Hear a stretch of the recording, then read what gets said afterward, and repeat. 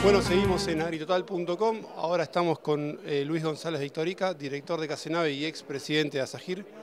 Eh, Luis, hoy hablaste de, por qué el mundo necesita girasol, cuáles, cuáles son, que, según lo que vos crees, los principales factores que, prevén un aumento de la demanda del, grano. No, en realidad mi, presentación estuvo basado en por qué, por qué, seguir sembrando girasol. Es una alternativa de producción para, para determinadas áreas que tiene mucha competitividad por una, serie de fortalezas que tiene el cultivo.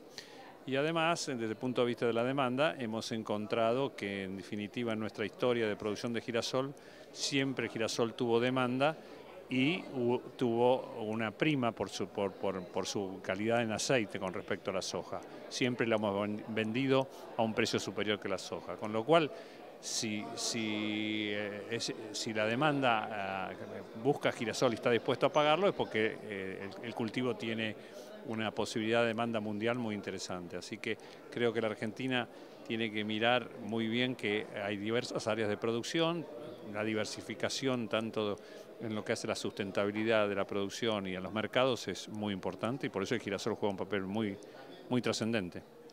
¿Cuáles son los puntos quizás este, político-económicos que necesita la cadena del girasol para levantar?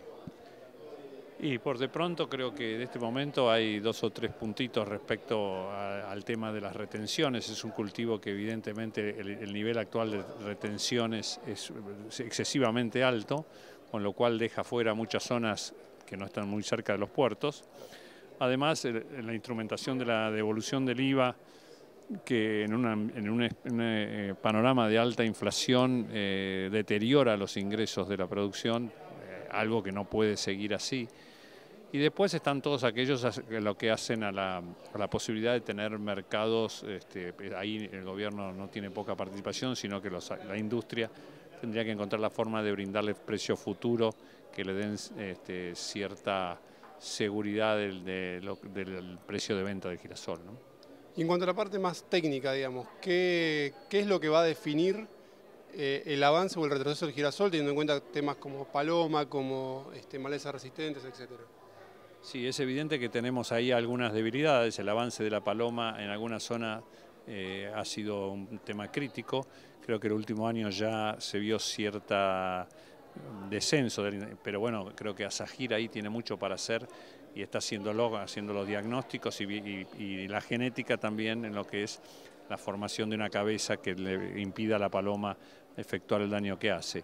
Pero de todas maneras, mientras tanto hay varias otras, eh, creo que el girasol ha dado, lo que digo, la estabilidad de rendimientos ante años climáticos en que le afectaron más a los cultivos de soja y de maíz, con lo cual el girasol tiene un lugar muy importante para cubrir eh, zonas donde la variabilidad de la producción de los cultivos es muy grande.